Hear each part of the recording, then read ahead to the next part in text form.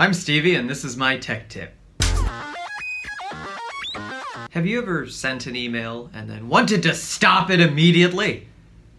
Well, Gmail lets you do that. In the settings, you can enable it and choose the amount of time that you'll have to cancel your message. Now, when you accidentally send a message, just click undo. Ooh. Enjoy your newly found higher standard of living.